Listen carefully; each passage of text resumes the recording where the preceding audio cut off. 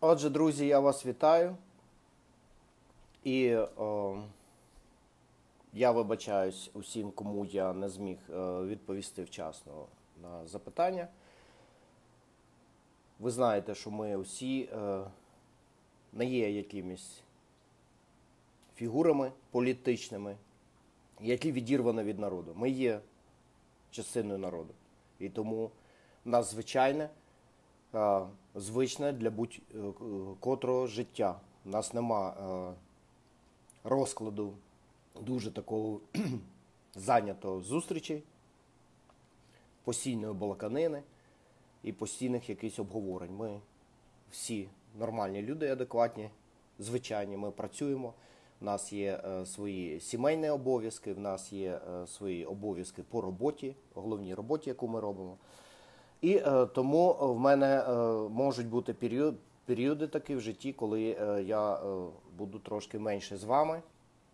Прошу з цього приводу не панікувати, не е, засмучуватися, бо одна людина все одно нічого зробити не здатна.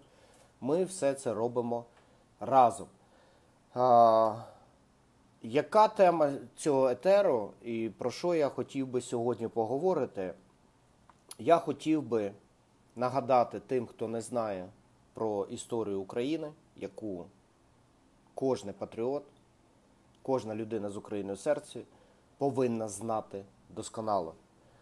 В 43-му році, під час окупації України і загрози того, що а, буде реокупація України вже е, після нацистських військ е, радянськими військами, постало питання того, що е, треба дійти до е, відповідного рівня масовості мобілізації лави Української повстанської армії. Ніщо так не спрацювало, лак- е, як один єдиний памфлет е, з декількох пунктів, яких було складено і е, зроблено. Цей памфлет називався дуже просто. Він називався е, За що ми воюємо. Більш точна назва була За що воює УПА. Після того, як цей памфлет було опубліковано, він е, був розповсюджений серед населення України. Е, мобілізація почалася масовою. Людям стало зрозуміло, за що вони йдуть ризикувати своїм життям, за що вони беруть е, в свої руки зброю. Сьогоднішній етер я хотів би присвятити, можна сказати, такому ж самому памфлету, але в електронному вигляді, у вигляді відео. Е, До етеру я ніяких нотаток не готував.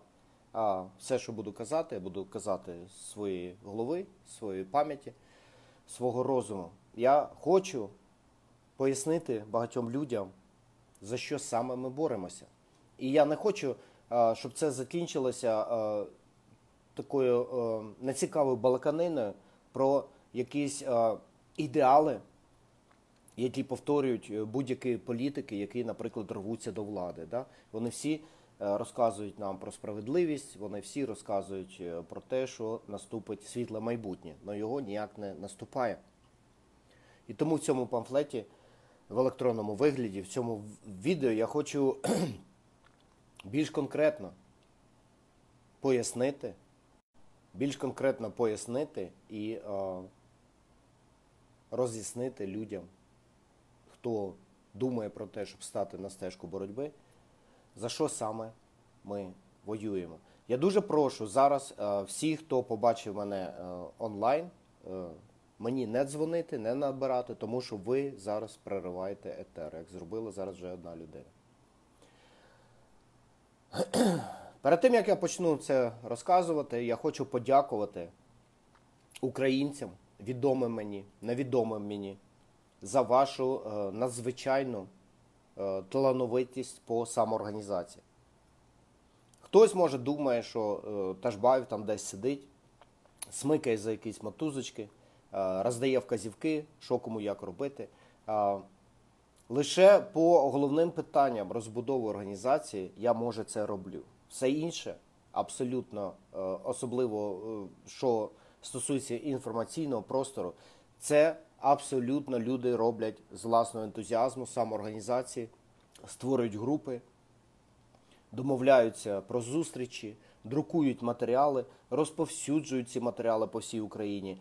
І результатом цього є е, дивовижна самоорганізація, дивовижний процес е, пробудження нації. Я по-іншому це назвати не можу. Я е, починаю бачити все більше і більше паралелей з американським суспільством, до котрої я звик, до рівня самоорганізації та свідомості котрої я звик. Я бачу все більше і більше паралелей. І це не може нарадувати, тому що американське суспільство досягло досить високого рівня свободи кожного окремого громадянина. І нашою задачею є саме свобода та заможність кожного окремого українця. Бо саме з цих а, пещинок складеться це величезне море, яке є Україною і називається незалежною заможньою могутньою державою. Я хочу всім подякувати, кого я знаю, кого я не знаю, за те, що ви робите. А результатом є, наприклад, те, що на сьогодні а, телеканал ЗІК опублікував кандидатури на прямий етер, на програму, яка вам відома Vox Populi. Це коли людину запрошують на етер, і е, вона повинна відповідати на самі е, популярні, тобто багаточисленні е, запитання від глядачів. На жаль, е, не раз і не два ми бачили, що там відбувається маніпуляція, і голоси, які задають навіть найбільша кількість глядачів, можуть ігноруватися головними редакторами ЗІКу, що лише нам нагадує про те, що засоби масової інформації належать не самі собі і не народу, а належать якимсь маніпуляторам, правильно, які, як правило, мають гроші і замовляють музику. Але що цікаво, якщо піти на е, сайт е, телеканалу ЗІК зараз, ну, наприклад, після цього теру, і подивитися які там є кандидатури, там є купа багато е, відомих людей. Але в абсолютних лідерах, кого люди хочуть побачити на цьому етері, є лише дві особи: це Петро Олексійович Порошенко та Іван Бубенчик. На даний момент я перевірив перед цим етером. У е, Петра Порошенка було 45% голосів, у Івана Бубенчика було 40%. Тобто ці дві людини поділили 85% інтересу людей до того, що вони скажуть. Все інше розподіляється на Гриценків, на Левайченків, Тимошенків та там багато кого іншого, хто набрав 0 або 1% голосів в порівнянні з цими двома людьми. Також, якщо, якщо ми, будучи реалістами, розуміємо і знаємо, і здогадуємося, яка е, ферма ботів існує на підтримку. Е, Порошенка, то я думаю, що ми можемо сміливо сказати, що цікавість та популярність до Івана Бубенчика на даний момент є, мабуть, номер один в Україні. І це зробили ми. Це зробили всі, хто є небайдужим. Це зробили всі, хто почув, почув ідею про те, що нам треба реальна альтернатива. Всі, хто ходить Е, з краватками в костюмчиках або модельних платтях від дизайнерів і розказує, як вони будуть турбуватися про Україну, цим людям прийшов час не вірити абсолютно і ігнорувати їх. Тому що це все балачки. Ці люди звикли балакати, ці люди звикли обіцяти, ці люди звикли домовлятися і йти на будь-які компроміси. Нам треба людина дії. Іван Бубенчик своїми діями, не словами. Він дуже він цікава людина. Знаєте, я до конгресу про нього лише почув те, що почули ви в новинах, коли е, ми почули, що там намагаються якесь чергове судилище зробити з майданівця. Це все, що я знав про цю людину. Він з'явився на конгресі. Мені було дуже приємно, е, приємно, що е, він серед багатьох інших людей, до яких в мене є повага, як до учасників Майдану, як до ветеранів. оборони України від російського агресора та їх посіпак. Було приємно, що ця людина була на конгресі. Але те, що він переможе, цього ніхто не знав, ніхто не міг цього навіть знати. І е, він не їхав е, е, навіть е, з метою подати свою кандидатуру, бо кандидатур було вісім, а потім вирішили, що вісьми недостатньо, і це вирішили під час роботи конгресу. Було відкрите жваве обговорення. Всі це хто там був, були свідками цьому, і вирішили додати ще чотири кандидати. І е, ці люди навіть. е, на відміну від перших вісьми кандидатів, навіть не подавали свої кандидатури, коли їхали на конгрес. Тобто, розумієте цей контраст, коли одні лазили по грейдерам, щоб попасти е, в телекамери, коли одні кричали на своїх кишенькових головних редакторів е, е, словами «Я там все облазив, всі ці екскаватори, ти мене не показав, ти мене в ефір не вивів». Пам'ятаєте, да? У нас є такий російськомовний в побуті е, е, президент України, який зараз е, займає цю посаду. І е, просто порівняйте це з людьми, які нікуди не просилися, нікуди не рвалися, нікуди там е, себе не висовували. Їх висунули люди, їх висунуло навколишнє середовище. Часто я чую плач, що немає лідерів. Лідерів висуває навколишнє середовище. Треба розплющити очі і дивитися на ті перлини, якими повна українська нація, українська нація, український генофонд, який намагалися знищити стільки багато сторіч, він існує. Насправді, да, він в занедбаному стані. Він в занедбаному стані. Нещодавно по новинам, е, буквально вчора, позавчора, всю Америку облетіли новини, що знайшли ем, дуже рідкісну машину. Це був Ford Mustang 67-го року, який в єдиному екземплярі е, компанія Shelby, яка робить з Фордів Мустангів е, справжніх монстрів, е, конячих сил да, і крутячого моменту, зробила дві унікальних машини. Одна була червона, друга була зелена. Так зелена стоїть багато мільйонів доларів. Вона стоїть в гаражі одного з власників найпрестижнішого аукціону в Сполучених Штатах Америки. А друга вважала, що вона загублена. І нещодавно, завдяки багатьом зусиллям, ця машина була знайдена в штаті Техас, стояла вся іржава, стоїть на подвір'ї. Вона коштує мільйони доларів. Її буде відновлено, її буде реставровано. Власник цієї машини, який навіть не підозрював, на якому скарбі він е, сидить, якщо можна так сказати, він своїй кузині поставив десь в Техасі там на подвір'ю серед багатьох інших старих поломаних машин. Він отримав мільйони доларів. Коли я цю історію почув, е, в мене пройшла аналогія з тим, що відбувається зараз з Україною, українським народом. Багато людей махнули руками, багато людей сказало, та ні, це е, ви себе послухайте. Багато людей мені каже, ні, не з нашими людьми. Ось що я чую. Я чую це постійно, не з нашими людьми. Ні, саме з нашими людьми. Саме з нашими людьми. Коли наші люди побачать світ наприкінці тунеля, ці люди проснуться, вони встануть з цієї сплячки, вони зрозуміють, що вони зневірилися зарано. Нація існує, нація відроджується. І ми це зробимо. Ну для того, щоб нам це зробити, нам потрібна для початку справжня альтернатива тому, що існує, тому, що диктує правила гри, життя, бізнесу, діяльності, повсякденного вашого існування потрібна справжня альтернатива. Не треба боятися того, що е, хтось там може не має так званої вищої освіти.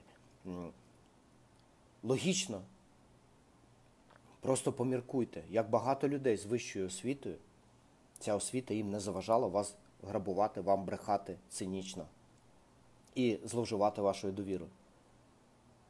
Вже давним-давно треба було прийти до висновку, що тоді це означає, що ця освіта не має ніякого значення. А що має значення? Має значення порядність людини.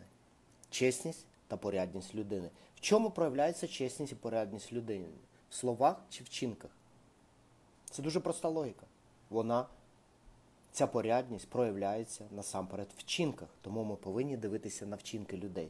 На вчинки людей, які е, вважають за нормальне тримати гроші в офшорах, тобто ховати їх від податків від законів України, згідно котрих треба поділитися і дати е, тим, хто потребує так звану соціальну справедливість. Але до соціальної справедливості ми повернемося трошки пізніше.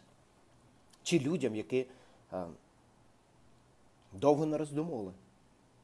І ви знаєте багато таких людей. Ви бачили їх навколо себе. Іван Бубенчик це лише представник цієї касти, якщо можна так назвати, касти воїнів, які е, довго не роздумували, які не шукали яких е, там е, пояснень своїм е, вчинкам е, в якихось програмах е, вищих навчальних закладів. А вони брали і діяли, вони брали зброю в руки і йшли захищали своїх студентів, свій народ, свою батьківщину. Нам потрібна саме така альтернатива. За що ми боремося? Давайте я спробую занурити вас в світ фантазії. Я знаю, що у багатьох у вас дуже бурхлива уява. У деяких вона занадто бурхлива, і вони придумують те, чого насправді не існує. Ну я хочу вас занурити у світ фантазії. Я хочу вам е, намалювати ту Україну, до котрої я та мої однодумці відчувають патріотизм. Я хочу вам намалювати той світ, який ми хочемо розбудувати, і поки його не стане, ми не зупинимося. Уявіть собі Україну, де не держава вас повинна чимось забезпечувати, а забезпечувати вас повинні ви самі, а держава повинна вам не заважати. Як вам подобається така Україна? Може багатьом вона не подобається. Ну тоді я поясню їм по-іншому. Вас е, повинні забезпечувати здорові, працездатні люди. але не держава, яка є якоюсь е, лише бюрократичною машиною, яка лише бере е, свою долю лише за те, що вона існує, лише за те, що вона е, займається розподілом і вчиняє так звану соціальну справедливість. Бо за цим стоять живі люди, і ці живі люди, як ми е, впевнилися, не є ідеальними, не є завжди чесними, справедливими. І цей розподіл, саме цей розподіл е, привів до тої кризи, в якій знаходиться зараз країна, нація та народ України. Уявіть собі абсолютну свободу, про яку деякі навіть не можуть е, мріяти і собі її не уявляють. Вони її уявляють лише тоді, коли вони потрапляють в якісь інші країни, де така свобода, наприклад, існує. Але ця свобода обмежена до того моменту, коли ваші дії починають вчиняти несправедливість до таких же людей, як ви самі. Тільки за таку свободу ми виступаємо. Ми є правоцентристською організацією, якої акцент іде насамперед не на роль держави і на первенство держави, а на первенство окремого пересічного громадянина. Його права та свободи є на першому місці. І не декларативно, як це е, було навіть написано в Конституції Радянського Союзу, клоном та копією котрої є е, сьогоднішня Конституція України. Хто цього ну, не звернув на це увагу. На справі, нас це цікавить на справі. Яким чином окремий український громадянин може бути вільним і заможнім? Лише при умовах, якщо держава йому не заважає, і держава втручається лише і виключно в крайніх випадках. Крайні випадки це коли людина, ну, наприклад, бере да, гранатомет або кулемет і йде вбивати своїх соплемінників. Тоді соплемінники можуть не мати достатньо сил, і тоді повинна втрутитися державна машина в таку ситуацію. Розумієте?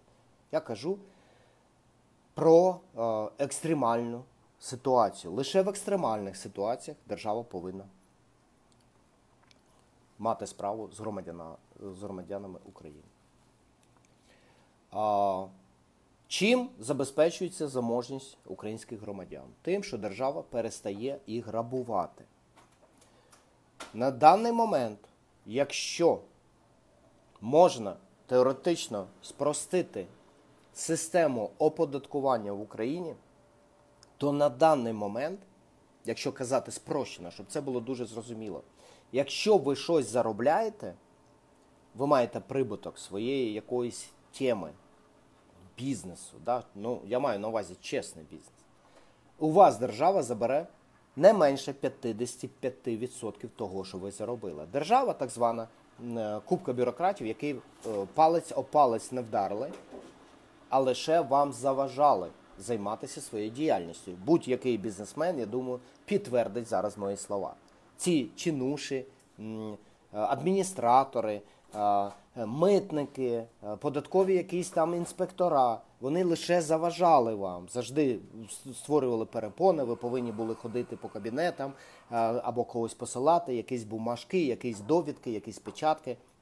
Вони лише заважали. І коли ви нез- незважаючи на усі ці перепони, все ж таки зробили додаткову вартість, а це і є то паливо, на котрому е, розвивається держава. Це і є е, той е, продукт, який потім використовується не тільки для вашого збагачення, а також для захисту своєї власної держави і для того, щоб забезпечити маленьких та стареньких, тобто людей, які ще не здатні зробити додаткову вартість. І от коли ви, незважаючи на всі ці перепони, зробили додаткову вартість, ці люди у вас абсолютно легально, спираючись рукою на кодекс законів, забирають більше половини. Вони забирають у вас 55%. Ну, таке можна собі уявити, це називається Візантійщина, да? або е, таке можна уявити, коли е, читати якісь казки про Алібабу, да? і якийсь там шейх або емір приходить і забирає ем, левину долю того, що бідний фермер або хто там е, купець якийсь щось напрацював. Це саме у вас відбувається сьогодні. Таким чином, держава розвиватися не може. Хто там розказує, скільки відкривається при Порошенку заводів, там фабрик і все це інше, це не показник. Показник заможності це не скільки в вашій країні відкривається заводів та фабрик. Хто це не розуміє, в кого ще ця радянщина сидить в голові, будь ласка, позбавляйтеся її. Показник вашої заможності є, скільки грошей у вас залишається в кармані після того, як ви відпрацювали місяць і чесно сплатили всі податки. Скільки грошей там? Зазирніть свій гаманець, і оце показник заможності держави. І тому статистика не бреше, і Україна на якому місці? На якомусь 130 якомусь, да, по е, умовам ведення бізнесу в світі. Ми з цим будемо закінчуватись. Яким чином ми цим будемо закінчувати? Якщо ми прийдемо до влади, першим кроком, що ми зробимо, і засоби, як ми це будемо робити, я скажу пізніше. І ви багато чого дізнаєтесь, коли буде опубліковано політичну програму. Но перше, що ми зробимо, ми повністю скасуємо податкову систему України. Повністю. Там нема що ремонтувати, там нема що реставрувати, там нема е, які е, додатки робити, доповнення, е, якісь тлумачення Конституційного суду, всю цю маячню, на яку піде багато часу, зусиль, і результат все одно буде ніякий, займатися просто не варто. Ми будемо скасовувати податкову систему України. Буде введено лише два податки. Буде введено державний унітарний і державний місцевий. Державний унітарний податок, на мою думку, не повинен бути вище 12%. Але від чого беруться ці відсотки? Ні, вони не беруться з обороту. Вони не беруться е, з того, що ви ще не заробили, а вже повинні віддати. Вони беруться лише з того, що ви заробили. А ви заробите за мінусом того, що ви витратили на те, щоб це заробити. Тобто ми пропонуємо американську спрощену систему податків. Е, Сама е, багато якби критиків може мені сказати, Рустам, американська система податків вона е, набагато складніша, ніж те, що ти пропонуєш. Але якщо її перерахувати і спростити, так як я спростив те, що вам пояснив на початку про українську податкову систему і про ці цифри, якщо її спростити, то вийде, що пересічний американець сплачує приблизно не більше 20% від того, що він заробив від прибутку. Від прибутку. Тому ми одразу це спрощуємо для того, щоб не тримати багаточисельну армію чиновників, які будуть приймати довідки, приймати якісь там декларації, все це перераховувати, кожний кейс, е, кожну справу індивідуально. Ви розумієте, яка армія е, потрібна для цього чиновника? Хто буде утримувати цю армію? Знову на своїй шиї народ України. Тому ми одразу це скасовуємо і спрощуємо. Потім, коли економіка буде розвиватися, коли країна буде розвиватися, потім можна робити вже продумані доповнення і ускладнення до податкової системи. На даному періоді, на періоді, коли е, у нас е, cardiac arrest, тобто серце вже зупиняється нації, нам зараз не до цього. Нам треба рестартувати економіку. Нам треба зробити людей заможніми дуже швидко, бо це треба для оборони, це треба для міжнародних відносин, це треба для виживання нації як такової. Зрозуміло. Тому ми все це спрощуємо. Ми не будемо наймати купу бюрократів, які будуть сидіти паразитами на шиї народу і вказувати, коли, кому, як нести свої податки. Ми це все спрощуємо. Українці будуть платити 12% державного унітарного податку в Київ від того, що вони заробили. Це за мінусом своїх витрат на те, щоб заробити. Тобто, якщо у вас є е, вантажівка, або ви використовуєте якийсь автомобіль, то е, ці затрати на бензин, який ви несете для того, щоб розвести піцу, або у вас е, якась пікарня, і ви якісь смаколики робите, да, і розвозите їх по всьому там Харкову або Києву, ці гроші ви повинні списати. А вже з того, що залишиться, чистий ваш прибуток, тільки з того чистого прибутку ви будете сплачувати податок. Саме це буде розвивати економіку, а не ці рабські побори якісь, які просто вбивають бажання займатися бізнесом в Україні. А, Другий податок повинен бути місцевий. Він повинен бути від 4 до 8%. Для того, щоб зараз знову цим не заморачуватися буде прийнято єдиний податок середньо арифметичний, тобто 6%. Він буде для усіх областей однаковий. Ці гроші йдуть в область.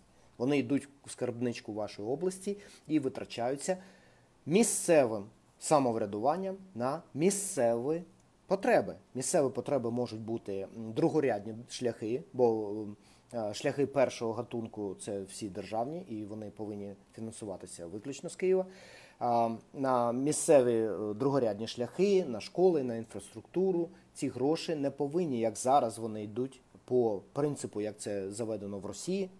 У Росії дуже велика проблема, що всі гроші спочатку йдуть в Москву, а вже в Москві дяді вирішують, якому регіону скільки дати грошей.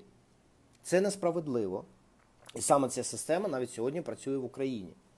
Тобто дайте дядям в Києві багато грошей, а вони вже вирішать, скільки вам дати. І уявіть тільки, скільки часу місцеві уряди ем, проводять на те, щоб поїхати і щось там вибити да, в центрі, щось там виклінчити, щось там що доказати, що їм це треба. Це абсолютно е, діяльність, яка не має ніякої користі. Це як е, пісок хтось сипле в двигун. Розумієте, тільки заважає економіці, нації, народу е, нормально існувати. Це абсолютно бюрократія ще з радянських часів, яка абсолютно нікому не потрібна. Тому ці гроші будуть йти одразу. Місцевий бюджет, і причому буде введена система, при котрій ці гроші, наприклад, при продажу якихось товарів, одразу вважайте в касовому апараті вже Е, е, відкладаються окремо і здаються практично щоденно. Тобто не треба буде чекати кінця року, там кінця кварталу. Ці гроші, е, money flow це називається. Да? Тобто ем, пересування цих грошей буде дуже швидким. І тому дуже-дуже швидко місцеві бюджети поповняться. Багато людей скаже, ну як же, а це ж місцевим цим крадіям дай ці, ці грошей.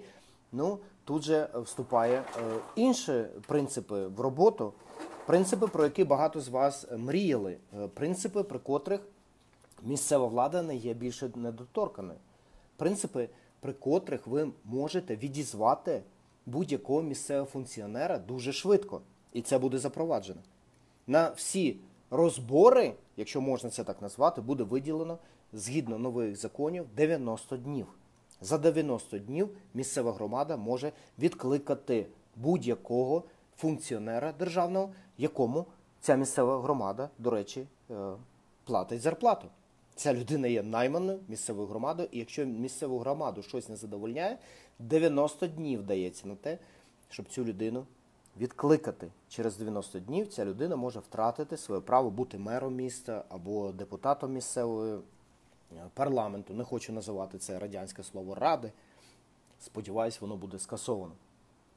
Всі ці механізми треба обов'язково запровадити. Далі багато з вас спитає: ну добре, Рустам, ми е, спрощуємо податки, вони становляться нарешті е, людськими, нарешті ну, є сенс займатися бізнесом, є сенс комусь повернутися з-за кордону.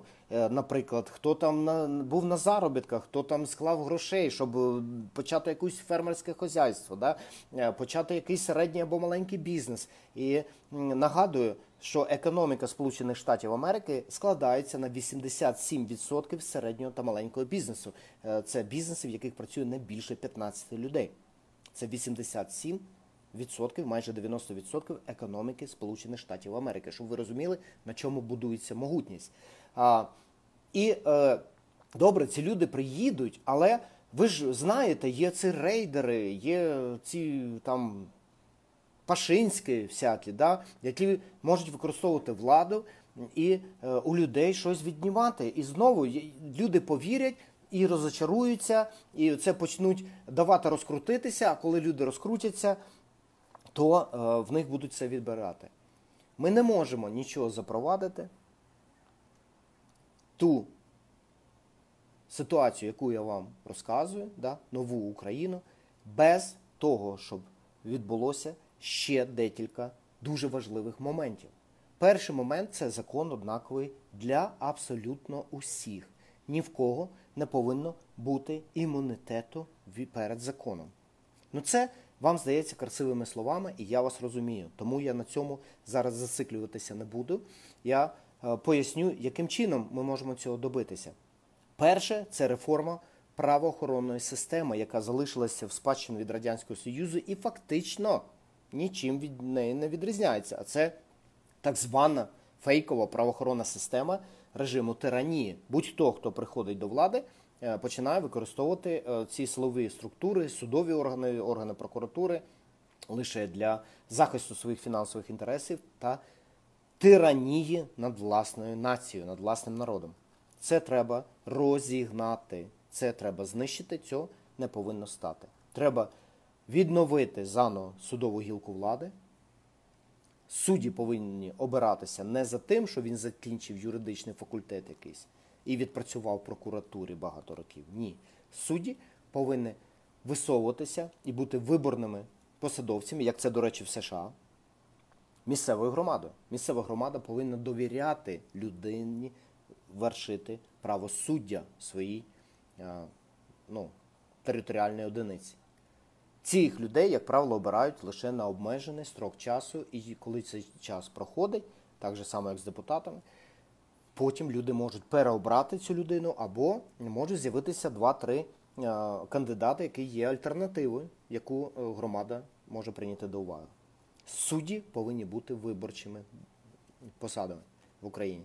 І ми це будемо впроваджувати. Прокуратура вже оголошена першим національним українським конгресом злочинною організацією. Що це означає? Це означає, що е, будь-у котрого працівника прокуратури України на момент прийняття цього рішення першим національним українським конгресом більше немає презумпції невинності.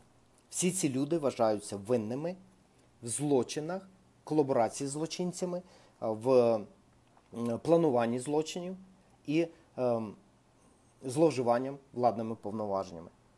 Будь-хто, хто хоче залишитися е, працівником прокуратури, повинен бути доказувати свою невинність. Не ми повинні будемо доказувати його вину.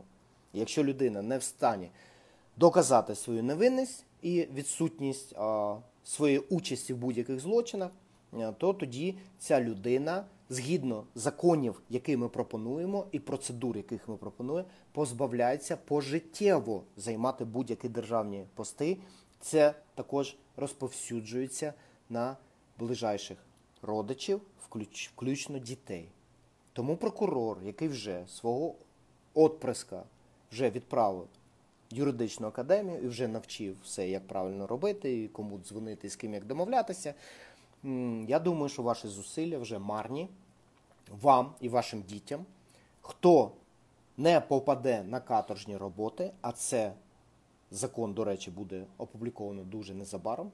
Це є поправки та доповнення до існуючого кримінального та кримінально-процесуального кодексу України. Якщо ніхто з вас не попаде на каторжні роботи, то вам все одно буде зась отримувати зарплату від народу України. Вам ви будете змушені працювати в приватному секторі, а там треба працювати, там треба щось робити, інакше ви збанкрутуєте і будете займатися, може, тим, на що у вас є талант і хист, тобто жебракувати на якомусь перехресті в Києві, в Харкові та в другому місці. Ну не будете ви сидіти за зарплату та шию українського народу і колядувати собі додаткові кошти тим, що ви викручуєте, перекручуєте закони України та зловживаєте своїм положенням прокурора або судді. Цього більш не буде. За це будуть каторжні роботи. Каторжні роботи також ми обов'язково зробимо так, щоб журналісти зробили реаліті-шоу і щодня йшла програма по якомусь каналів або може по декільком, де українці можуть побачити, що таке каторжні роботи, що таке робота по 12 годин на день, як будуються нові шляхи в Україні в самих там проблемних місцях, де бульдозером не під'їхати. Розумієте, щоб всі це бачили, бо а, процес повинен бути не тільки перевиховання вашої схибленої совісті, яку ви там загубили і вже знайти не можете, але також демонстрації всьому суспільству, чим закінчується кар'єра самих хитро зроблених. Чим закінчується кар'єра тих, хто вважає, що обманювати українську націю, не шанувати українських героїв, які за незалежність цієї країни та за щасливе майбутнє своїх дітей та онуків віддали все, що в них було, своє життя. Хто вважає, що це нормально, то ми все поставимо на свої місця. І люди побачать, що це ненормально, і хто думає, що він хитріше за націю та народ, він потім на повному державному забезпеченні в полосатій робі буде махати кайлом і будувати, будувати тонелі в Карпатах, які нам потрібні для сучасних шляхів. Зрозуміло це, так? Що ще? Ми боремося за те, щоб е, Національна гвардія України перестала бути е, Allgemeine СС.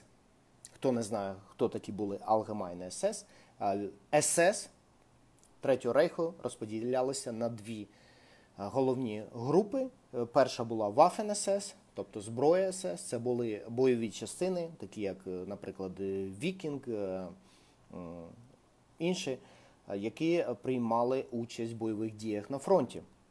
Allgemeine СС це були охоронці концтаборів, таборів смерті та рабів, які вони захоплювали і змушували працювати на шкідливих підприємствах Німеччини. Це ці підрозділи СС називалися Allgemeine СС. На сьогоднішній день Національна гвардія України є абсолютно точним аналогом Allgemeine СС. Це є охоронці концтаборів, це охоронці так званих зон та в'язниць в Україні. Деякі підрозділи приймають участь в бойових діях. І хто цього не розуміє, я хочу пояснити, що це ніяк одна добра справа ніяк не обілить 10 поганих. А навпаки, одна погана справа зруйнує 10 хороших справ. Тому ми виступаємо за те, щоб Національна гвардія України, по-перше, складалась виключно на добровольчій основі, щоб вона стала справжньою Національною гвардією України, а не охоронниками концтаборів. Щоб туди не відловлювали молодих хлопців і не ламали їх психіку та життя тим, що з них робили мусорів, і потім привчали до жорстокості, до несправедливості, до кругової поруки. Саме це є фабрикою тих поганих людей, які ми дивуємося, звідки вони беруться. Хто цього не знає.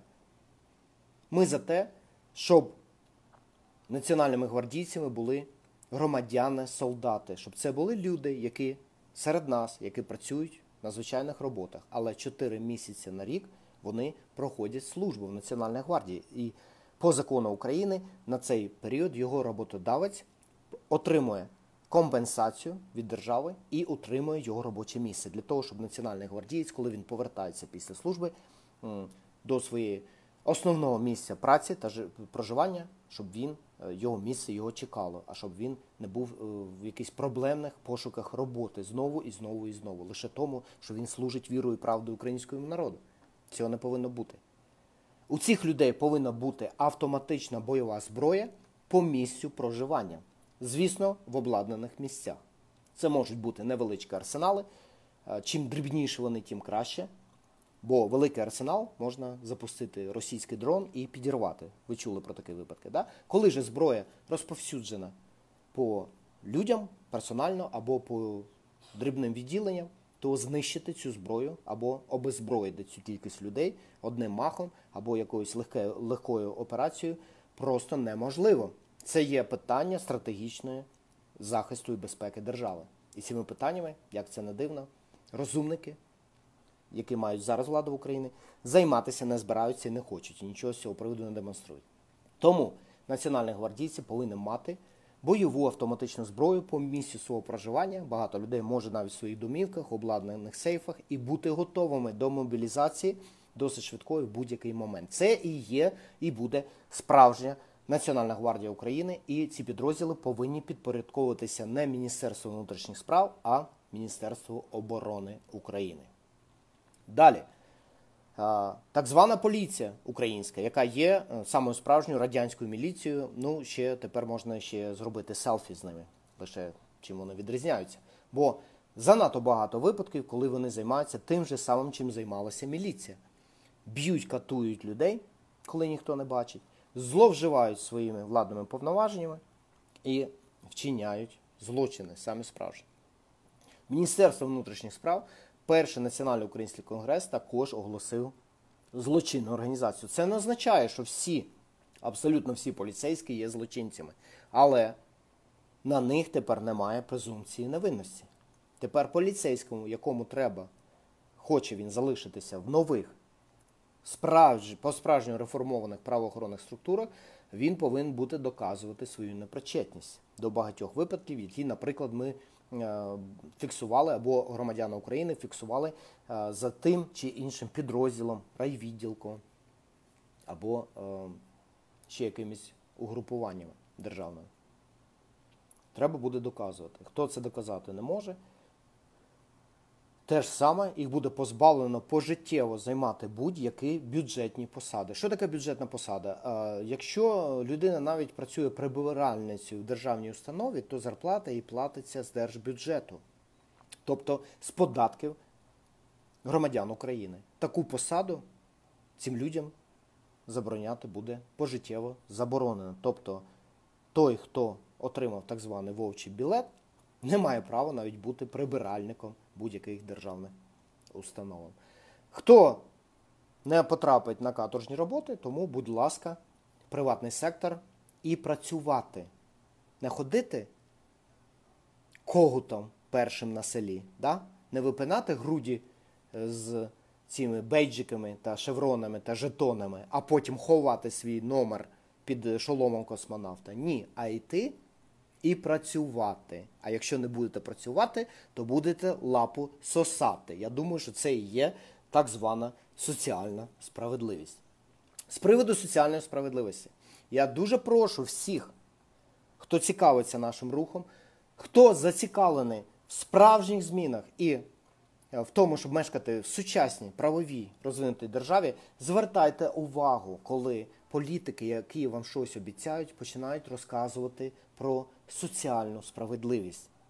Саме політики, які розказували про соціальну справедливість, прийшли до влади у Венесуелу і прийшли до влади у Бразилію на початку 2000-х років. Ці люди казали дуже багато про соціальну справедливість. І що сталося? Вони почали вчиняти соціальну справедливість. Вони сказали, що є ось люди, які є там старенькими, слабенькими, і про них треба добре потурбуватися. Щоб про них потурбуватися, вони ж не стали до праці і почали робити додаткову вартість. Пам'ятаєте, додаткова вартість це є е, паливо, це є їжа, за рахунок котрої організм держави може існувати. Без їжі голодуємо і вмираємо з голоду. Правильно, да? Ця додаткова вартість, ці люди, е, ці соціалісти Венесуели та Бразилії, вони не прийшли і почали створювати додаткову вартість. Ні, вони лише сказали, ми будемо робити соціальну справедливість, і вони почали перерозподілювати е, додаткову вартість по-іншому. А щоб її розподілити, їм вони потребували більше державних чиновників, бо тепер треба розглянути дуже багато мільйонів е, особистих випадків, коли людині треба щось дати додаткове, те, що вона, наприклад, не заробила. І коли у людини, яка щось заробила, треба забрати щось додаткове. Ви розумієте, да? для цього е, була е, армія вже ну, багаточисельна чиновників була ще збільшена. Коли ця армія збільшується, її треба годувати будь-яка армія, чиновників або справжніх е, солдат, вона потребує величезних затрат. Де було брати ці гроші? Коли вони прийшли, і так працює соціалізм, я дуже-дуже прошу вас бути уважними до людей, які називають себе націонал-соціалістами. Ну, ви знаєте, їх заборонено, да? вони почали Другу світову війну і закінчили невдало Нюнберзьким процесом. Це були націонал-соціалісти. Ну, якщо ви не знаєте, є люди, які називаються соціал-націоналістами, і вони існують в Україні. І ця партія, яка заявляє про свої соціал-націоналістичні позиції, є партією, як це не дивно, для мене це було відкриття, партія Свобода. Вони просто ці два слова поміняли місцями. Ця партія, багато інших, багато інших політиків, вони виступають за соціальну так звану справедливість. І я вам роз'яснюю на прикладі Венесуели та Бразилії, що це таке. Це коли у людей, які працюють, забирають більше, щоб дати більше тим, хто не працює. І вони називають це соціальною справедливістю. При цьому треба збільшити також державний апарат.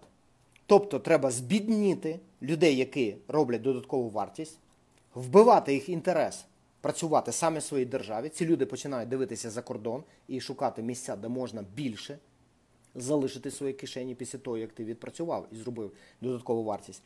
І перші 2-3 роки, як правило, у соціалістів і дійсно є покращення. Бо що відбувається? Вони починають забирати людей, які працюють і роблять додаткову вартість, давати іншим людям більше. І ті людей, які не працюють, їх також багато, і вони відчувають покращення. Вони відчувають, що там, наприклад, пенсії піднялися, да? або е, стипендії студентів піднялися, або там якесь дитяче там забезпечення. Воно піднімається. І справді, перші 2-3 роки все виглядає дуже м, приємно, можна сказати. Ну, страждають лише трошки е, ті, хто. Працює за всіх, да, за себе, за тих, хто не може працювати, та ще й державну машину треба на своїй шиї утримувати. Але щоб це працювало правильно, їм треба збільшити цю державну машину. Коли вони збільшують державну машину, їм треба платити більше грошей. Де їх брати? Їх треба брати в бюджеті. А бюджет будь-якій державі, як правило, і так іде, знаєте, як то кажуть, від зарплати до зарплати. Іде бюджет будь-якої, навіть дуже розвинутої країни. Ви чули слова дефіцит держбюджету. Він існує навіть в дуже розвинутих країнах. Коли ж соціалісти такі, да? націонал-соціалісти, соціал-націоналісти. Там, да як завгодно вони себе можуть називати, хоч християн-демократами, хоч демократ-християнами, чим завгодно і як завгодно. Але принципи, ось на що треба звертати увагу. І перший аларм, перший цей дзвоник це коли вони починають розказувати про соціальну справедливість, так звану. І багатьом людям це подобається, бо ой, нарешті я буду нічого не робити і за це щось мати. Да? Так не буває. За все треба розплачуватися. Так от, коли цей державний апарат теж зростає, що відбувається наступне? Наступне не вистачає грошей. Грошей в бюджеті катастрофічно починає не вистачати. Також соціальну справедливість не всім вдається забезпечити, а обіцяли.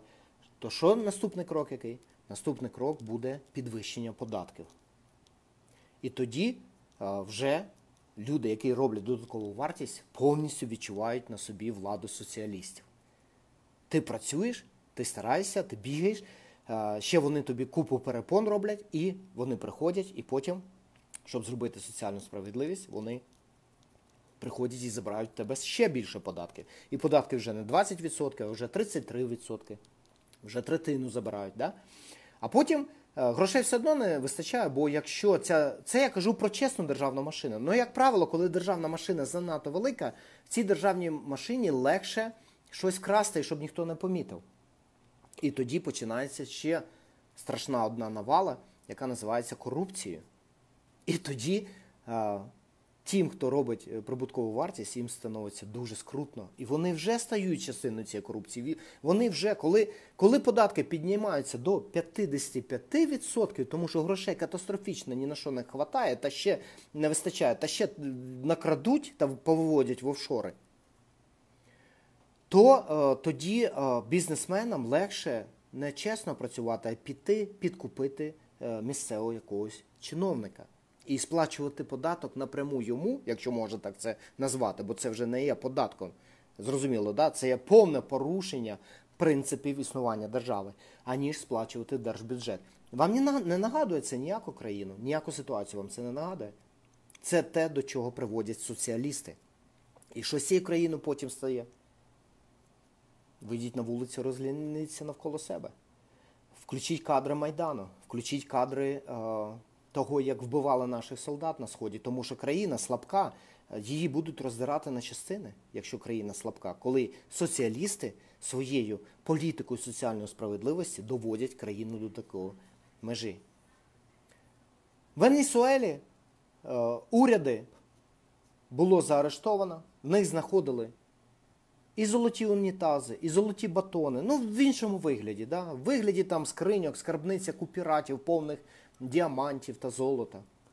Купи цілих палет, цілих оцих подонів комерційних е, валюти, готівки, в доларах там і в місцевій, і в чому завгодно. Розумієте? Ось до чого приводить вся ця так звана соціальна справедливість. Тому я прошу вас звертати увагу на будь-яких політиків.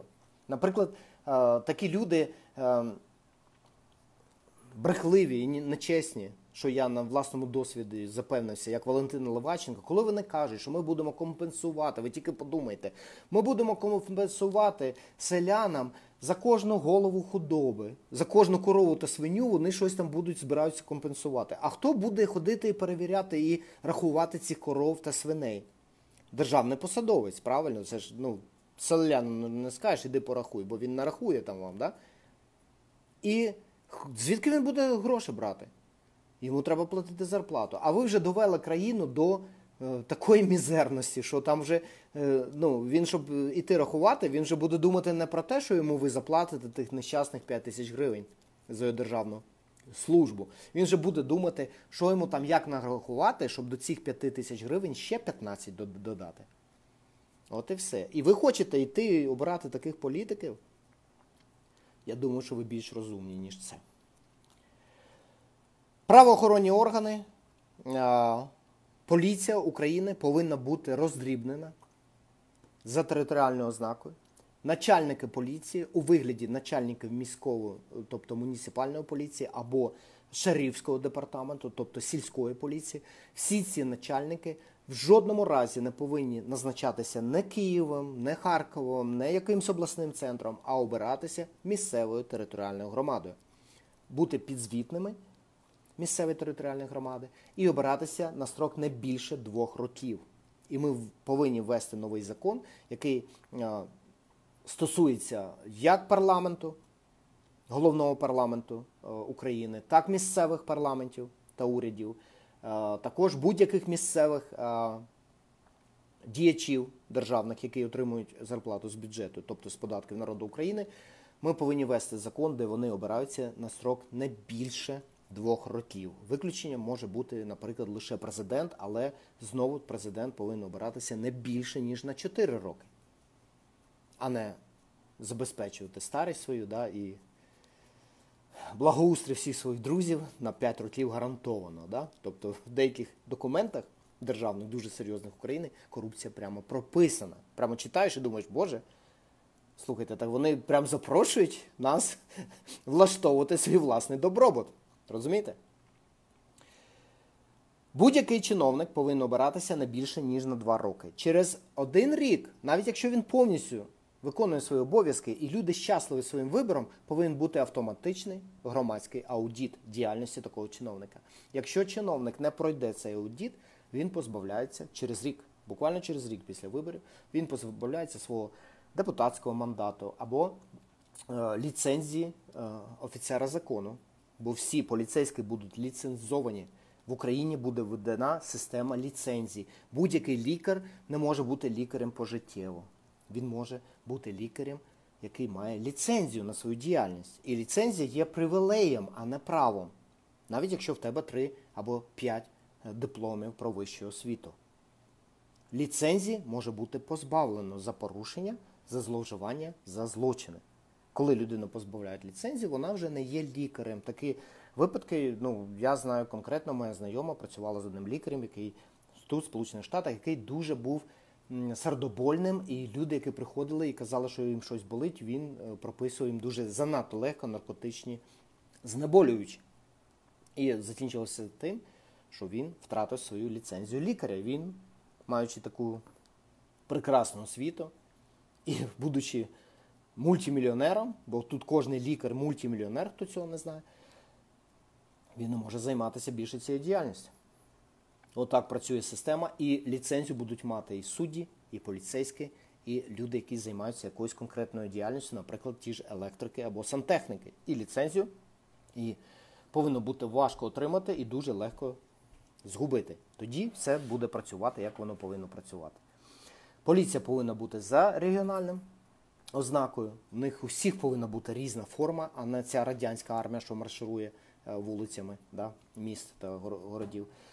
Повинна бути лише єдиний залишений державний унітарний, тобто центральний підрозділ поліції це поліція фрівеїв, автобанів або як завгодно назвіть майбутні шляхи України, які ми будемо будувати. Якщо треба, то з допомогою кредиторів іноземних, бо вони зацікавлені в тому, щоб економіка України була сучасна, могутня, розвинута, а шляхи є кровоносною системою будь-якої економіки будь-якої країни. Подивіться на шляхи, і ви вже можете оцінити індекс економічного розвитку цієї країни. Шляхи у нас будуть сучасні, шляхи у нас будуть багатополосні. Е, В двох крайнях буде нелімітована швидкість. Можна буде, як в Німеччині, їхати настільки швидко, наскільки ти захочеш. Інше полоси буде лімітовано для вантажівок та локального транспорту. Тобто магістралі головні країни повинні бути по чотири полоси в кожному напрямку. Звісно, що треба зробити для цього відповідні розпорядження і відповідні процедури по землі. Закони по землі України. Тут можна розказувати дуже довго, але ми боремося і виступаємо за те, щоб іностранні інвестиції в землю Україні були квотовані, лімітовані до самого кращого індексу, який сприяє розвитку економіки України. Е, Також е, частина землі була в абсолютно вільної продажі, і також частина землі не менше треті землі, яка для сільського господарства повинна бути іти спеціальною програмою для людей, в яких немає грошей, але є бажання та наснага займатися, наприклад, тією ж фермерською діяльністю. Такі люди повинні отримувати без процентові позики від держави на розвиток свого фермерського хазяйства. Будуть спеціальні програми для банковської системи. Банковська система це взагалі окрема розмова. Я скажу лише те, що немає і не буде банку в Україні без ліцензії. Пам'ятаєте, да, те, що я сказав? Система ліцензування буде обов'язкова. Це не просто дозвіл, це не просто довідка, що ти можеш займатися цією діяльністю. Ні, це ліцензія на право займатися цією діяльністю. Це водійське посвідчення. Як людина не може сісти за кермо без водійського посвідчення, так людина не може бути лікарем, сантехніком, е, юристом, поліцейським або банкіром без посвідчення. Такого, зрозуміло, да? І банк для того, щоб отримати це посвідчення, банк повинен з державою скласти договір і е, заслати, перевести, зробити е, перевод грошей на спеціальний бонд, тобто заставу, яка буде гарантувати кожному вкладнику банку гарантію держави. Якщо банк банкрутує, закривається, або хтось там вирішив погратися в якісь офшорні ігри, то кожному вкладнику банка повинно бути гарантовано державою повернення до 100 тисяч доларів, який він поклав цей банк. 100 тисяч доларів перший, скажімо так, банк повинен, тобто держава повинна гарантувати повернення в будь-якому випадку, а не ті пограбування е, ще радянського народу, який відбувся в 90-х роках. Пам'ятаєте, да? Не ті пограбування, які далі е, продовжуються, не ті постійні якісь, і людей ставлять перед фактом, що от збанкрутували, от там дефолт, якийсь дефолт. Люд, людям це не цікаво, який там у вас придурків, гол, голів радгоспів та е, е, колгоспів, які дірвалися до влади завдяки своїм батькам. Е, які там у вас дефолти? Людей це цікавити не повинно. Вільних, незалежних, заможних людей України повинно цікавити, що якщо банк банкрутує, то все, що в мене там лежить, ну, до перших 100 тисяч доларів, держава мені автоматично повертає. Тому мене не цікаво. А це вже держава справа. Розумієте момент? А це вже держава справа наглядати, щоб ці банки один за іншим не банкрутували. І гроші не з'являлися в офшорах. Да? І всі ці інші фінансові схеми, які відбуваються в Україні. Цього бути не може. Це теж кровоносна система, така ж, як шляхи. Ми не можемо тромбувати кровоносну систему організму під назвою Сучасна розвинута Україна. Тому банківська система повинна бути розбудована абсолютно, бути клоном американської системи, і е, якщо щось там не так, покарання повинні бути серйозні та суворі. Система ліцензування, система рендом, тобто випадкових аудитів, перевірок, все це повинно бути запроваджено з цією візантійщиною і цими телефонними розмовами. Так, тому відкриєш, тому закриєш, там те переведеш.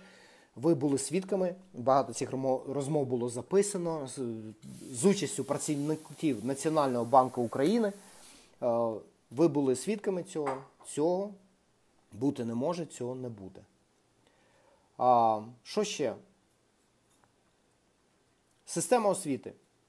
Це є конвейер, який продовжує робити дурників. І коли країна складається з багатьох дурників, то нормальним розумним людям в такій країні дуже важко, і ці нормальні розумні люди починають що дивитися, е, озиратися навколо і шукати, коли, куди поїхати або куди втекти.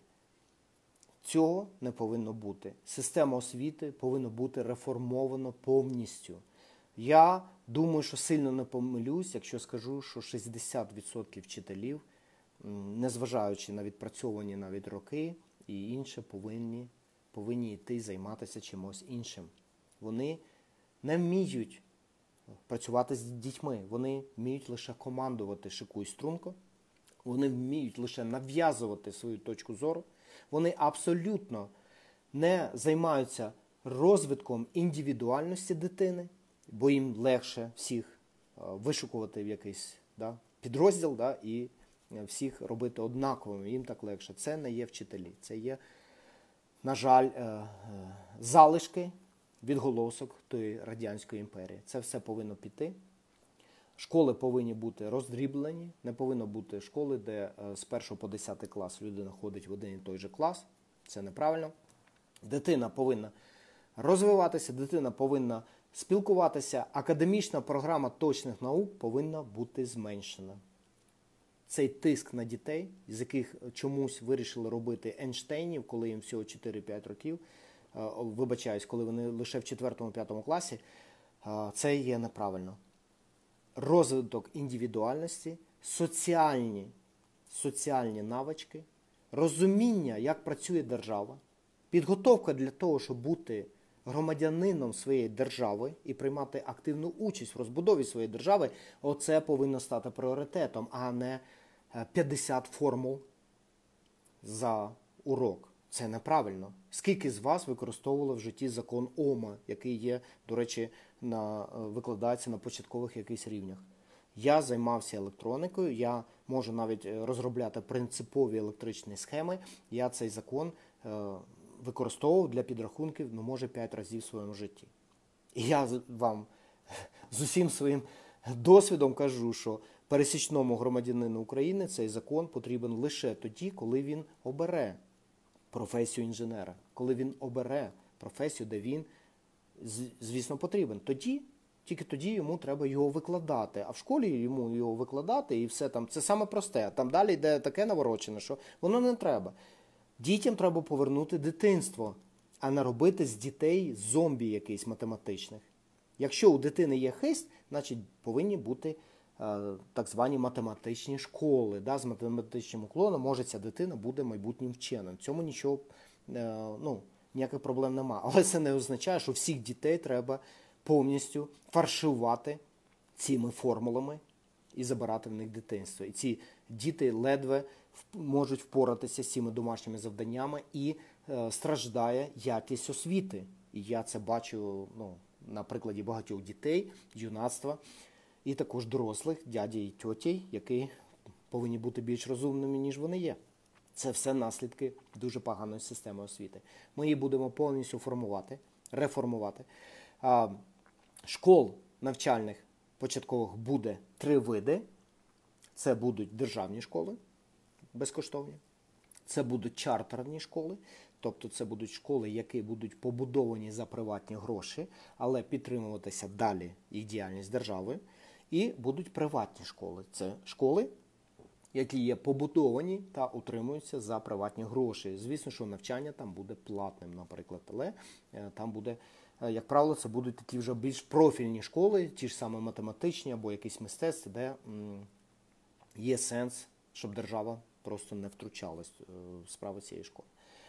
А Вище також буде все змінено по західному зразку. Для того, щоб стати, наприклад, доктором, треба набрати стільки і стільки кредитів е, по дисциплінам, які обов'язкові для цієї професії. Наприклад, перед тим, як ти підеш на практику в шпиталь, а відпрацювавши два роки в шпиталі, потім ти можеш вже е, починати приватну практику лікаря. Наприклад, для цього треба набрати кредити. Де ви будете набирати ці кредити? Нікого це не цікавить. Не повинно бути якихось медичних інститутів, в яких ви йдете на перший курс, і поки ви з п'ятого курсу не випуститесь, ви це все маячня радянська. Це все готували е, санітарів та санітарок на фронт, да, а зрешти населення солдат. Ні, ми цим займатися не будемо. І тому людина може вчитися в п'яти різних учбових закладах, якщо треба, щоб набрати ці кредити, і скільки завгодно, як можна довше якщо треба. І коли вона набере ці кредити, тільки тоді вона може займатися далі е, діяльністю лікаря або юриста, або ще чимось. Ця система відпрацьована, нічого не треба продумувати, все це береться вже із задоволенням. Наші партнери Сполучених Штатів Америки своїм досвідом поділяться. А якщо у вас є якісь сумніви щодо цієї системи, поговорте з студентами, поговорте з українськими студентами, з молоді, яким е, по програмі, наприклад, обміну студентів вдалося повчитися в США або навіть в Європі, і ви почуєте враження від цих молодих людей і обов'язково прислухайтесь до їхньої думки. Бо їм є з чим порівнювати, і вони можуть вам розказати своє враження від цієї системи освіти. Саме цю систему освіти ми можемо, ми будемо впроваджувати, тому що це наша інвестиція в майбутнє України. Україна не може триматися на ентузіазмі людей, які, е, е, наприклад, е, створили рух так званий Ташбаївський там, чи за Івана Бубенчика, і лише на ентузіазмі е, хочуть е, побудувати, розбудувати нову державу. Ні, ці люди можуть дати поштовх. Ці люди можуть е, задати перший інерційний момент. Ну якщо ви будете використовувати після цього лише інерцію, ви знову приведете країну до занедбаності. Ні. Нам треба повністю розбудувати новий сучасний конвейер найкращих людських ресурсів. І це є сучасна система освіти. І саме на це буде звернено першу, саму першу увагу.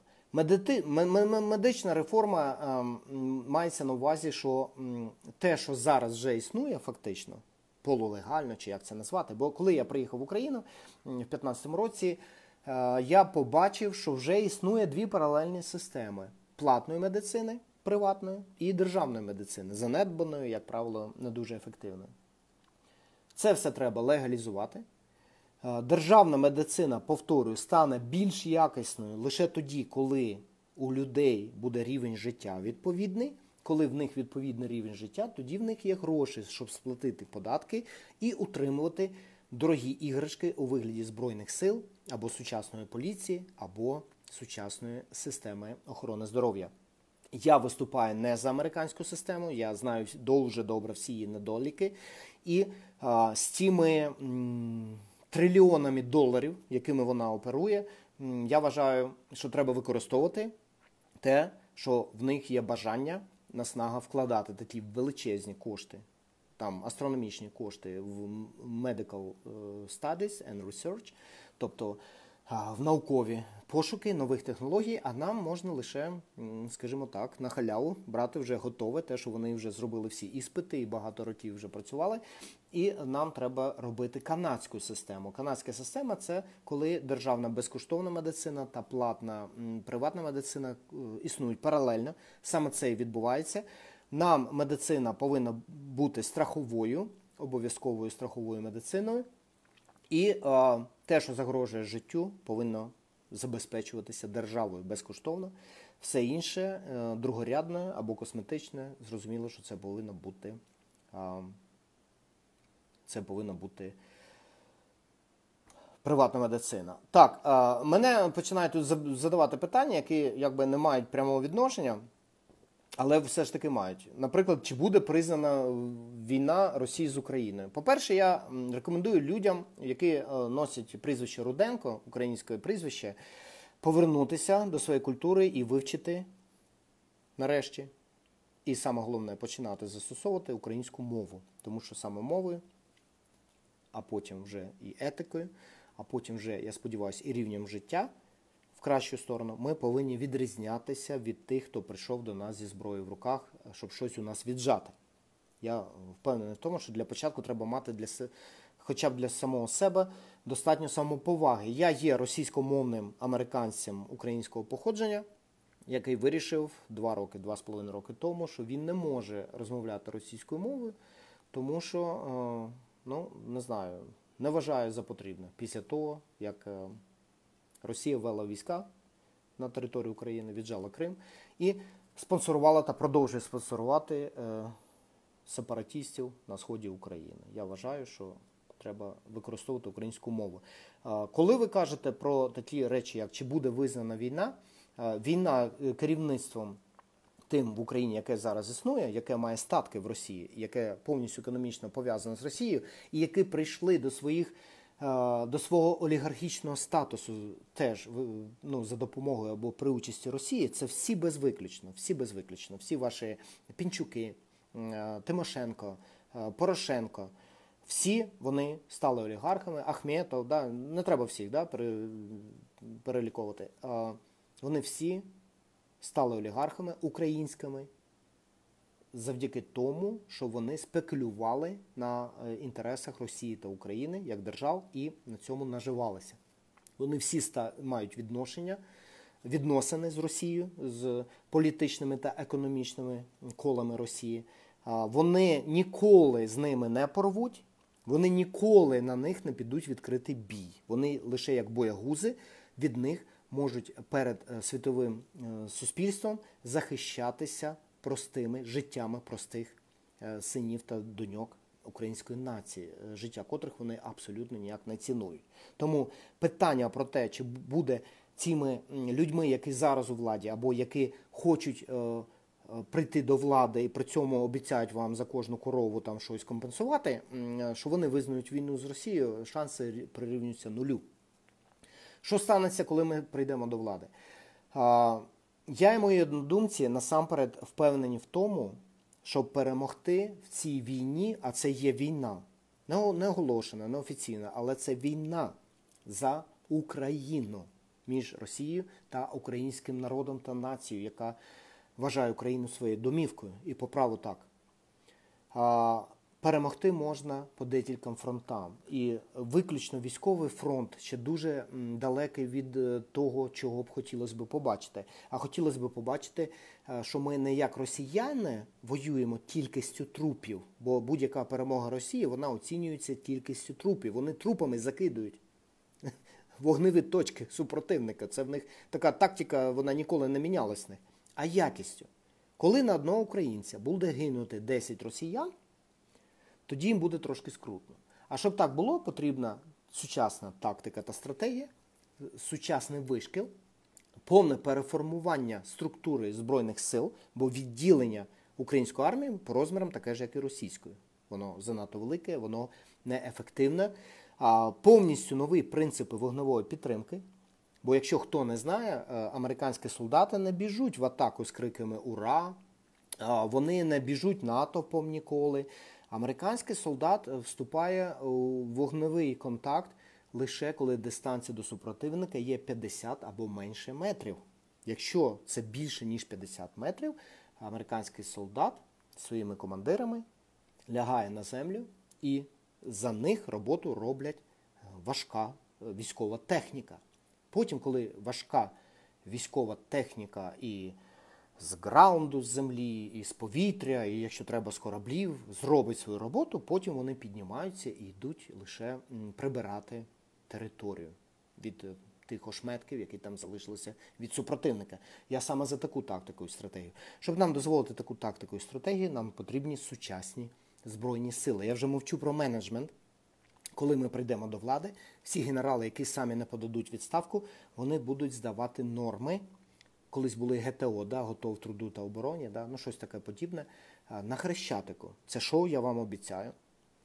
Це буде набагато цікавіше, ніж парад незалежності, ця чергова радянська показуха, яку вони будуть демонструвати незабаром.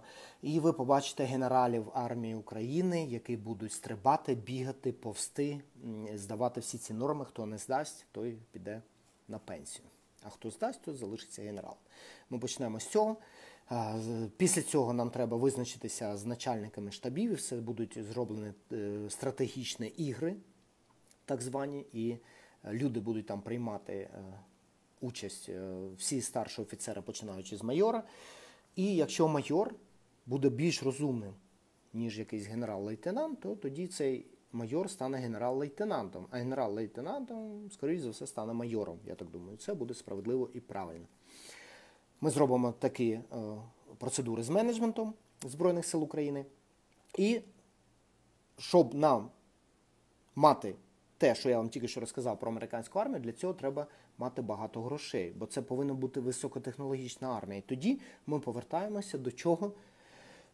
До системи оподаткування. Коли люди стануть заможніми, тоді люди можуть давати більше грошей, бо цих заможних людей більше. То вони навіть якщо менше від кожного себе скинуться, але їх багато, тоді буде багато грошей для сучасних збройних сил. Також хочу повернутися знову в цивільну сферу і сказати, чим забезпечується насамперед розквіт заможності українця. Тим, що ніхто не може в нього нічого віджати або рейдернути, якщо можна це так сказати. Ви е, пам'ятаєте, я почав і, на жаль, не закінчив, коли е, хтось буде питати, а Ну, добре, податки зменшені, поліція реформована, але ж все одно будуть якісь люди, які будуть намагатися там захопити юристів, якийсь ще щось і е, зробити рейдерське захоплення. По-перше, ми поміняємо процедуру передачі власності з одних рук в інші. Це буде відбуватися за допомогою багатьох е, компаній-посередників, які мають бути ліцензовані та мати свій бонд, тобто цей внесок, який гарантує що якщо вони порушать закон, то з цих грошей, які належать їм, але лежать на державному фонді, і вони не можуть їх чіпати, буде виплачена компенсація потерпілим. І саме головне, що я може не сказав, це озброєння українського населення. Повторюю, всі законослухняні українці, громадяни України, жіночої або чоловічої статі в нормальному розумі та здоров'ї повинні мати право на носіння зброї нарізної вогнепальної для того, щоб захищати своє життя, своє майно, свою гідність та здоров'я і також своєї сім'ї. Закони по зброї повинні бути прийняті обов'язково. Без цього не буде справжньої поліції, це знову буде армія терору. Без цього не буде заможності, бо знову ніхто не буде е, якби бажання займатися бізнесом. Який як, який сенс займатися бізнесом, який в тебе через 2-3 роки тільки ти розкрутився, прийде якийсь Саша стоматолог, або в нього папа президент, або прокурор, або суддя. і в тебе відіжме. Тому українці повинні це робити без повної участі держави. Держава повинна лише допомагати. Українці, я впевнений, здатні самі захистити своє життя, своє майно. І держава повинна повернути право українців на це гідне життя, на гідні вчинки, на захист того, що належить їм. Тільки коли ми забезпечимо повну недоторканість приватної власності, коли ми забезпечимо закони однакові для кожного, коли ми забезпечуємо мінімальні податки, тільки тоді в нас буде сучасні збройні сили. У нас буде сучасна інфраструктура. У нас будуть діточки, які вчаться, і майбутні квіти нашої держави, і буде, буде ця держава розквітати. Люди будуть заможніми. І на тому пароплавчику, котрому по водам в Лтави, в Чехії, в Празі я подорожував, серед тих мов для туристів, яким розказують про історію місця та красиві замки і палаци, з'явиться однією з перших українська мова, бо сьогодні її там нема, незважаючи на те, що там майже півмільйона українців. А знаєте, чому її там нема? Тому що українці їдуть туди, щоб заробити хоч пару копійок, і їм нема. Нема можливості бути багатими туристами. А російська мова там є, як і французька, англійська, німецька та італійська. Я вважаю, що це повинно змінитися. Там повинна з'явитися українська мова, і багаті українські туристи повинні подорожувати по всій Європі, і європейці повинні їм заздрити, знаючи, що це представники найсвободнішої країни у Європі з самими ліберальними податками, з величезним е, захистом е, приватних прав людини, з повністю відсутністю будь-яких ознак комунізму або соціалізму. І саме так воно буде, якщо ми прийдемо до влади. Яким чином це все впроваджувати? Бо багато людей буде розказувати мені про Верховну Раду і як вона не пропустить жодного з цих законів, я прекрасно знаю, що ці уроди ніколи нічого не пропустять. Але ми для них тримаємо сюрприз. І цей сюрприз в етерах ви не почуєте. Ну він буде обов'язково в політичній програмі єдиного народного кандидата від першого Національного українського конгресу Івана Бубенчика та його команди. Там ви почуєте, яким саме чином ми це впровадимо. І ми не дамо їм будь-яких шансів на те, щоб зробити так, як вони зробили з люстрацією, з іншими реформами, з всіми своїми обіцянками. Ми знаємо, на що вони здатні, і ми до цього готові. Я дякую вам за увагу. Продовжуйте йти в тому напрямку, в якому ми йдемо, бо ми крокуємо в напрямку сучасної, могутньої України. Не очікуйте вказівок, бо це все радянська спадщина. Не очікуйте, що хтось прийде і вам щось скаже зробити. Ви хочете бути е, членом Української національної армії? Будь ласка, створюйте осередок однодумців, розмовляйте з людьми. Зараз саме головне це розповсюдження інформації. Подивіться на веб-сайт е, телеканалу ЗІК і подивіться, що ми вже зробили з моменту закінчення Конгресу. З 26 травня, в день закінчення Конгресу, по сьогодні вже е, абсолютними лідерами, кого хоче побачити українська нація на телеекрані і почути від них щось, є е, поруч е, ну, з такою посадою, як президент країни, поруч і дихає йому в потилицю, іде наш кандидат. Всі інші навіть поруч не стоять, як то кажуть. І це зробили ми. Не я, не Іван, ні хтось, хто замовив. да, там спектакль, якийсь фірташ чи ще щось. Ви знаєте, як вони це роблять. Да? Ні, ми робимо це нестандартно, ми робимо це чесно, прозоро, відкрито, і ми робимо це силами тих, хто розуміє ці думки, сприймає ці думки і не займається маячнею е, у вигляді розгляду, е, в кого е, там якого кольору труси, хто там не так народився, хто там не там народився, і всім цим іншим всім цим тумба-юмба, цим дикунством, до якого, на жаль, ця система гнила освіти та гнила система стосунків е, корупційної держави людей довела до цього рівня. Я сподіваюся, що ми вилікуємо і людей, і суспільство, і країну від цієї хвороби. Я вам всім дякую за увагу і приємної вам неділі. І в мене розпочинається теж мій вихідний день.